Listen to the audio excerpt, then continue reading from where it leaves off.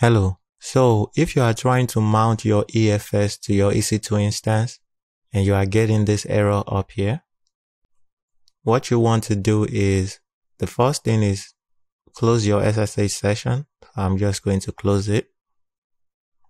Then come to your EC2. So under service, under compute, select EC2 and select your running instances and click your running instance.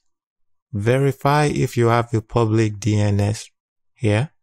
And if you don't have this public DNS, and this is what is causing it. This is how I solved mine because I couldn't mount it. And I noticed that I didn't have the public DNS.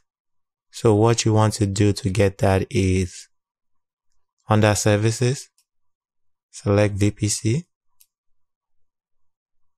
then select your VPCs. This demo VPC is where my EFS and my EC2 instance is in. So I'll select that VPC. So select the VPC that your EFS and your EC2 instance is in. Then come to actions.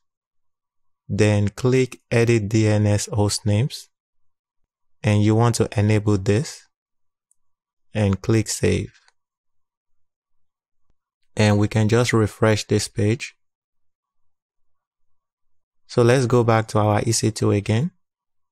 I go back to EC2, select running instances, select that instance. You can see it now has a DNS host name. So now what you want to do is you can SSH back into your EC2 instance and run your mount command again and it should work. So I'm going to SSH back into my instance. So I have now SSH into my EC2 instance. The next thing I'm going to do is paste my mount command in here and press enter. And you see that it worked that time.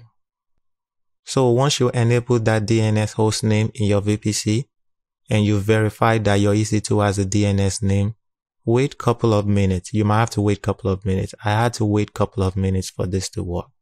So I'll say give it about two, three minutes. Then SSH into your EC2 instance and run the mount command again and it should work.